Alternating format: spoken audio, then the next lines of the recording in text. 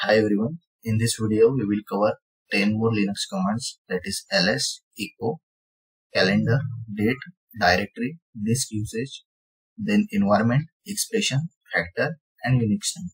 So now we will go to our Amazon Linux machine and we will try to execute these commands. Now here on our machine, we will refresh the page. Then now we are logged in using EC2 user. confirm, we can use who am I. So we are not a root user now. We are a normal EC2 user. To change to the root user, we can write sudo su. Now we have the admin privileges now. Again, if you want to switch back to the EC2 user, we can use switch user and then username. When you will try this for the first time, it will ask you for the password also on the Amazon Linux machine. To change the password or to reset the password for the first time, you can execute this.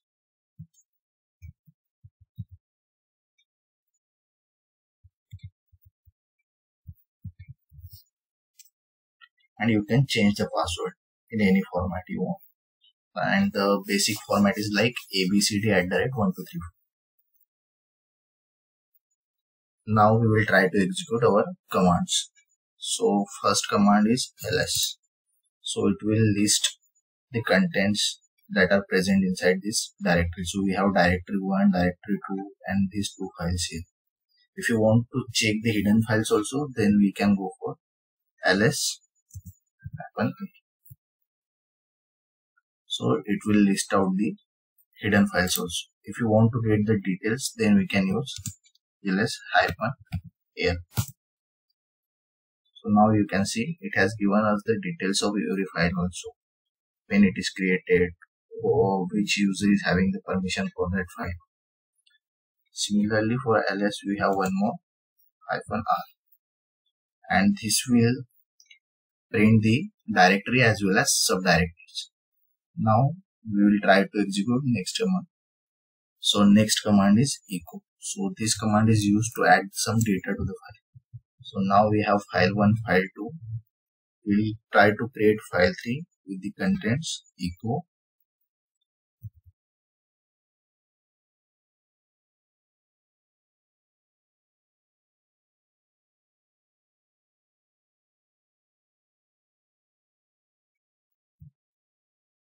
To check this we can cat this.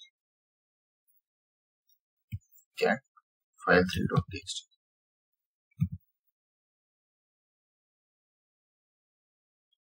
so we are done with the two commands. The third command is calendar. So for that we will write cal and it will show us the calendar. So in this way we can check the calendar our next command is date command. So it will print today's date. Similarly we can check the directories. So now we are at this location. We can check the number of directories or all the directories present at this location using dir. So here we have these directories and these files present. Similarly, we can check the disk usage of this location.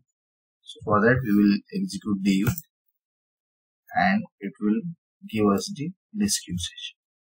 Sometimes you want to get the list of environment variables present inside. So for that we have env command.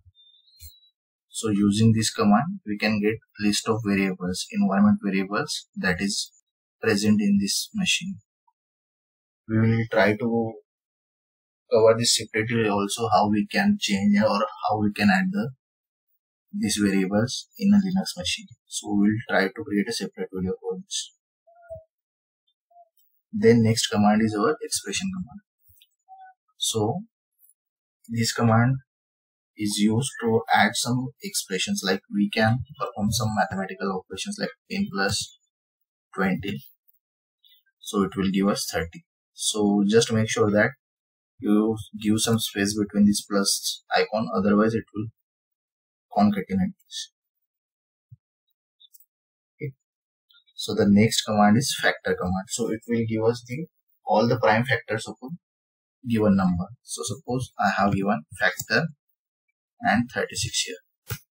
So it has printed the prime factor of this number. So don't get confused between why 9 is not here and 3 is there.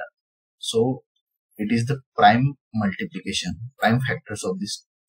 So if you go with 2, 2 is 4, 4 3 is 12, 12 3 is 36 in this way.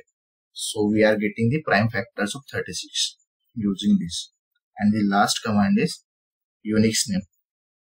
So this command will print the details of our machine like the what is the kernel version, what is the operating system. So you can get our operating system is uname and to get all the details we need to add uname hyphen. So now we got the operating system name, DNS name and all the details of this operating system whether it's supporting today's date and everything. So these are the 10 more commands we have covered. Now in the next video we will try to cover the most general Linux commands that we use like make directory, copy, move commands, then cat, touch. Here in the first two videos we covered 20 commands that we rarely use but that are very easy to execute.